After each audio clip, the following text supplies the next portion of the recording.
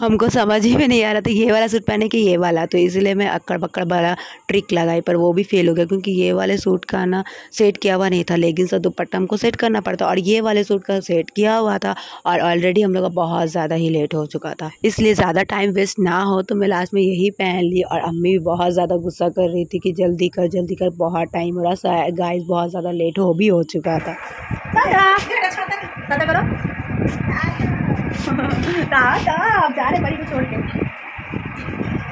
हाय friends अस्सलाम वालेकुम welcome back to my channel कैसे हो फ्रेंड्स आप सब? आई होप आप सब ठीक हो गए और हम भी यहाँ पे बिल्कुल ठीक है।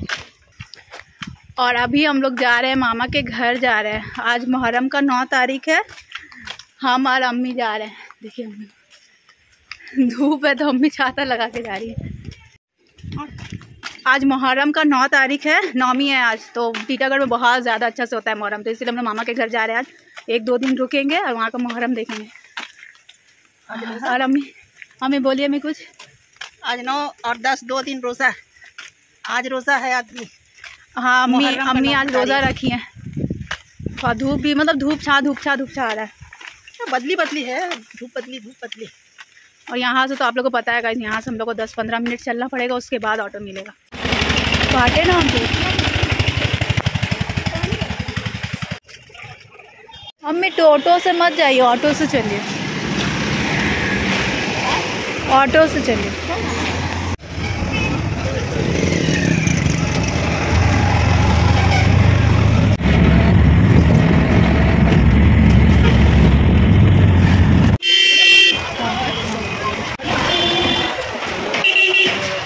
अभी बैरकपुर उतर गए अब हम लोग को जाना है टीटागढ़ टीटागढ़ का ऑटो धरना है।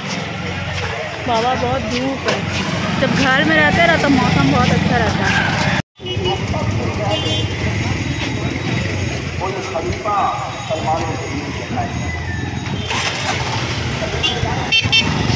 अभी टीटागढ़ उतर गए अब यहाँ से भी दस पंद्रह मिनट दस पंद्रह मिनट चलो। आज जुम्मा है ना तो इसलिए सारा दुकान बंद है। और आज जुम्मा है फ्रेंड्स आप सबको जुम्मा मुबारक। हाँ मैं आपको बोला रिक्शा लेने रिक्शा कितना धूप है गाय अम्मी को बोला रिक्शा लेने के लिए। अम्मी रिक्शा नहीं ली अम्मी ने पैदल ही चलो। घर से निकलता नहीं है आदमी निकलेगा तो रिक्शा करेगा। रोज़ा रखे ना। तो क्या हुआ? रोज़ा रखे तो क्या? पहाड़ पैदल ही मौसम सही है ना? जब घर पे रहते हैं ना गाइस तो बहुत अच्छा मौसम करता है। जब कहीं निकलते हैं ना तो इतना धूप आ जाता है जाने का ही मन नहीं करता। हो गया मी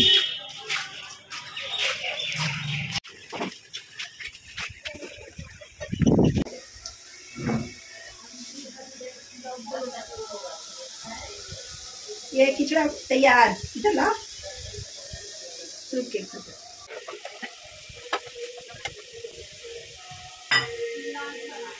है, खिचड़ा। आज नौ तारीख को खिचड़ा और चिकन। रोज़ा खोलने का टाइम हो चुका था फ्रेंड्स और हम लोग ना बहुत दिन के बाद ऐसे एक साथ बैठ के अफ्तारी कर रहे हैं। ऐसा मौका ना बार बार नहीं मिलता है। रमज़ान में क्या होता है ना फ्रेंड्स हमारा अम्मी रहते हैं तो बहुत खाली खाली लगता है। तो ऐसे बार बार मौका नहीं मिलता। बहुत अच्छा लगा एक साथ रोज़ा खोल के। और हाँ फ्रेंड्स मुझे पता है मेरा वॉइस बिल्कुल भी अच्छा नहीं आ रहा क्योंकि एक दो दिन से मेरा तबीयत कुछ अच्छा नहीं जा रहा है। वैसे भी फ्रेंड्स ये वीडियो बहुत पहले ही अपलोड हो जाना चाहिए था। ये गले की वजह से ही मैं अपलोड नहीं कर पा रही थी। आज के लिए इतना ही फ्रेंड्स और आप सभी दुआ करना मेरे लिए कि मेरा गला जल्दी से जल्दी मेरा आवाज़ ठीक हो जाए।